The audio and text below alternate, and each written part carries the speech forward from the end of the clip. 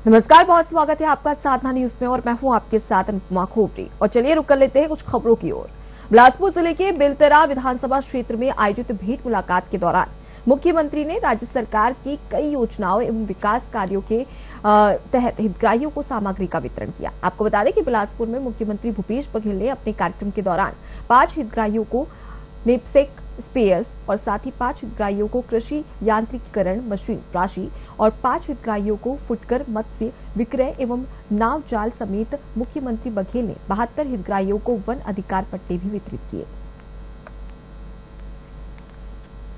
यहाँ के किसान, यहाँ के मजदूर, यहाँ की महिलाएँ, नौजवान, सभी लोग योजनाओं का लाभ उठा रहे हैं।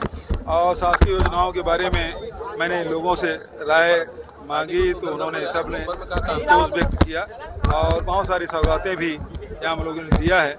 और लगातार विकास के मामले में लिफ्ट इरिगेशन जैसे उन्होंने मांगा, तुरंत हम लोगों ने स्वीकृत किया। तो लगातार कोशिश यही है कि यहाँ के लोगों के जनजीवन में परिवर्तन आए और इसका लाभ सभी लोग उठा रहे हैं।